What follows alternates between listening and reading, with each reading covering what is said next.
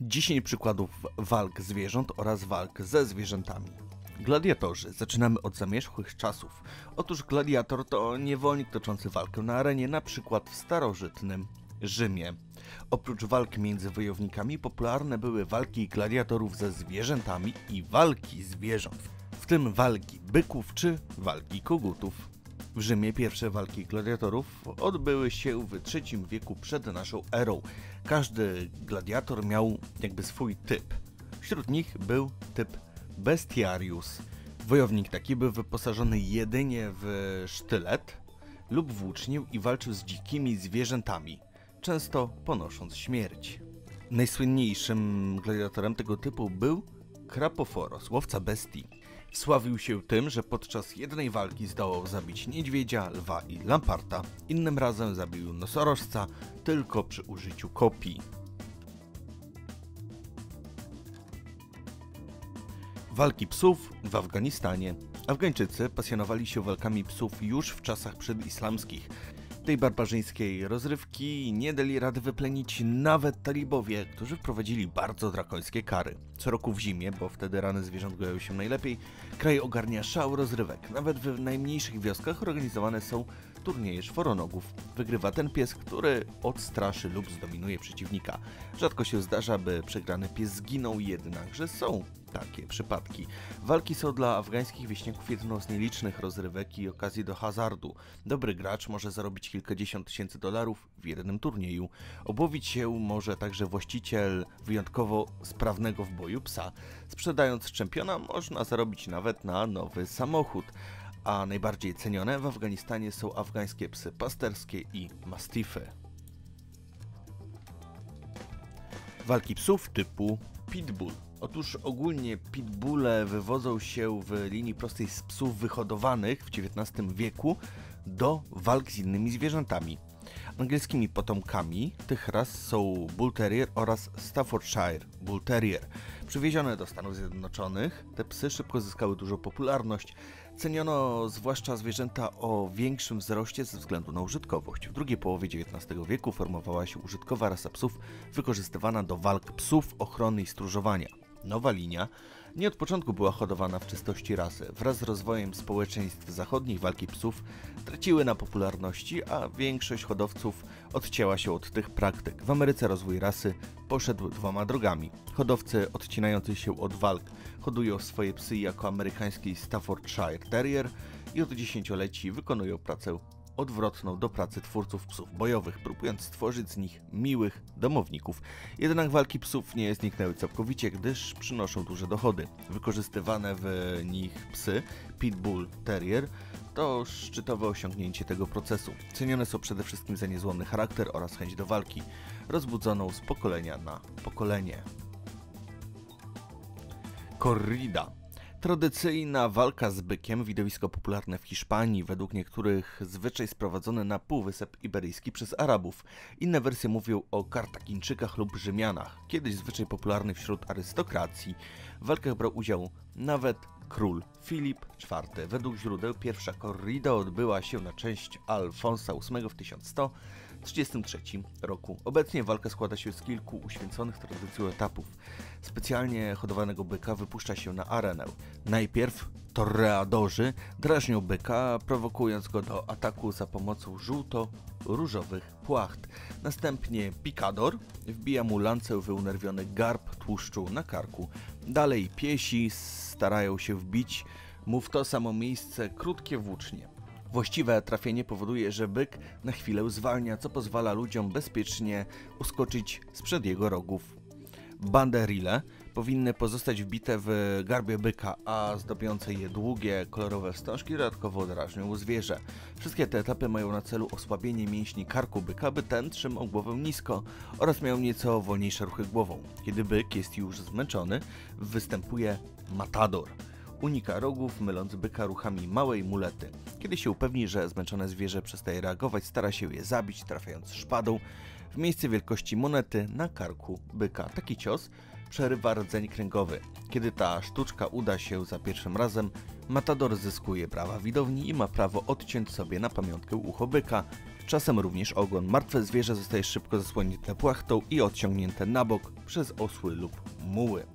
Spór o korridę trwa od dziesięcioleci i przeciwnicy twierdzą, że sprowadza się ona do torturowania zwierząt, które wykrwawia się ku uciesze tłumu. Natomiast zwolennicy, do których należy były król Hiszpanii, Juan Carlos, podkreślają, że korrida to wyjątkowa sztuka, łącząca w spójną całość choreografię, kostium i muzykę.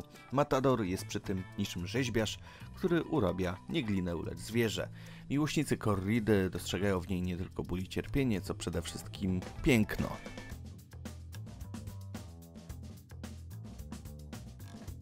Venatio, czyli polowania na zwierzęta na arenie.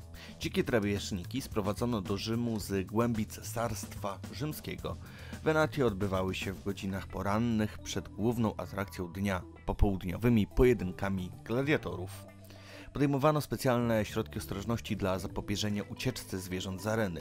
Montowano barierki i kopano rowy. Bardzo nielicznym zwierzętom udawało się przeżyć venatio, choć czasem ofiarą padał też bestiarius czyli na przykład gladiator wyszkolony do zabijania zwierząt, o czym wspominałem wcześniej, ale tutaj mówimy o polowaniach na zwierzęta, nie pojedynkach. Nawet tysiąc dzikich zwierząt mogło zginąć w ciągu jednego dnia. Podczas igrzysk zorganizowanych przez cesarza Trajana z okazji objęcia władzy zostało zabitych około 9 tysięcy zwierząt. Wykorzystywane w Venatio zwierzęta były na ogół dzikimi drapieżnikami, chociaż zdarzały się wyjątki. Popularne były lwy, tygrysy, słonie, niedźwiedzie, jelenie, dzikie kozy, psy i wielbłądy. Niektóre zwierzęta tresowano, by zamiast walczyć pokazywały sztuczki. Najpopularniejsze ze względu na nieokiełznaną dzikość był lew Juliusz Cezar użył w Circus Maximus 400 lwów sprowadzonych głównie z północnej Afryki Syrii. Egzotyczność zwierząt zwiększała atrakcyjność tych widowisk. Wyobrażenie lwa jako symbolu dzikości funkcjonowało nie tylko na arenie. Rzeźby przedstawiające lwa pożerającego swoją ofiarę umieszczano też na nagrobkach jako symbol tragicznej śmierci.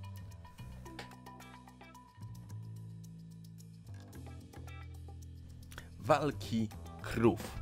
Tradycyjne szwajcarskie zawody zwierzęce charakterystyczne dla kanonu Valais odbywają się zwyczajowo w niedzielę od końca marca do końca lata. Celem organizacji walk jest wyłowienie najlepszych jednostek, które poprowadzą stada na letni wypas walpy. Do walki stają krowy rasy Herens, cechujące się zadziornością i bojowością. Krowy szarżują na siebie, bodą rogami i starają się wypchnąć przeciwniczkę ze zaznaczonego pola walki. Dawniej zawody służyły celom praktycznym, a obecnie nie mają już znaczenia pasterskiego, są natomiast intratnym biznesem. Podczas hodowli bojowych krów wykorzystywana jest selekcja genetyczna oraz zamrażanie embrionów. Karmi się zwierzęta pobudzającymi koncentratami, a nawet poi określonym gatunkiem win. Imprezom towarzyszą biesiady i festyny, w tym degustacje wina. Rzadkie są przypadki kontuzji wśród zwierząt. Finał walki odbywa się w święto w niebo wstąpienia w Apros, a ostatnia walka podczas odpustu w Martigny.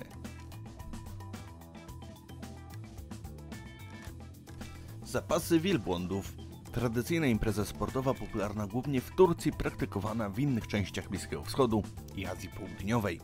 Zapasy wielbłądów organizowane były przez starożytne plemiona tureckie już 2400 lat temu. Obecnie najbardziej popularne są na prowincji w zachodniej Turcji, gdzie została zorganizowana profesjonalna liga. Zwierzęta są wystawiane przez wsie, miasteczka i osoby prywatne. Wielbłądy przeznaczone do zapasów nie pracują i są specjalnie przygotowywane do zawodów. Imprezy wspiera rząd Turcji, uważając je za element dziedzictwa kulturowego kraju. Zapasy wielbłądów bywają niebezpieczne dla widzów. Zdarzały się wypadki i stratowania przez uciekające z areny zwierzęta. Również pomiędzy właścicielami wielbłądów dochodzi do rękoczynów. Także jest tam naprawdę ciekawie. Zapasy odbywają się między listopadem a marcem w okresie godowym zwierząt. Na obrzeżu areny umieszcza się samice w okresie rui. Walczą ze sobą dwa samce, które zwykle tylko ryczą i przepychają się nawzajem.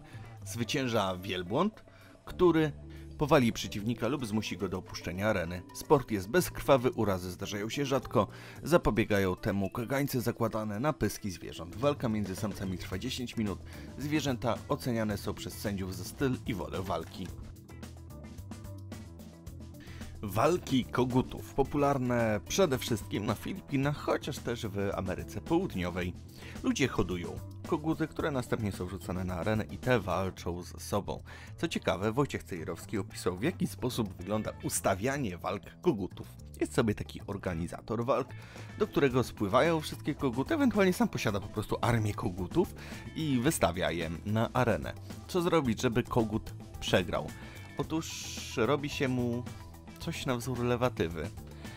Napycha się mu do żołądka wody, ponieważ przez to jest ociężały i nie może skutecznie walczyć. W taki łatwy sposób można ustawić walkę kogutów. Niestety w polskim internecie niewiele informacji jest o walkach kogutów, ale jest to rozrywka bardzo popularna w krajach trzeciego świata, w których koguty hoduje się specjalnie do tego celu. Walki dogów kanaryjskich.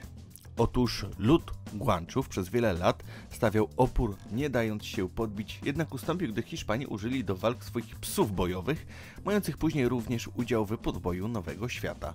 Te psy to były właśnie dogi kanaryjskie. Służyły one w armii hiszpańskiej w czasach podboju Nowego Świata, a co za tym idzie, Ludzie szybko się zorientowali, że zwierzęta te idealnie nadają się do walk na arenie. Rasa miała swój udział w walkach psów zwanych w Hiszpanii pechadas. Psy te rozmnaża się w bardzo charakterystyczny sposób. Z każdej hodowli eliminuje się osobniki nadmiernie lękliwe bądź zbyt agresywne. Presa to pies gotowy stanąć w obronie swego opiekuna i przy tym nie sprawiający mu kłopotów na każdym kroku przez zbyt wybuchowe reakcje. To jest ideał psa i takie psy wykorzystywano do walk na arenie. Walki psów Tosa. I o ile psy Tosa są zakazane do hodowli w Norwegii, Danii, Australii, Nowej Zelandii czy Wielkiej Brytanii, tak w Japonii nie dość, że są legalne, to jeszcze legalne są walki tych psów. Walki te miały szczególnie długą tradycję na wyspie Sikoku.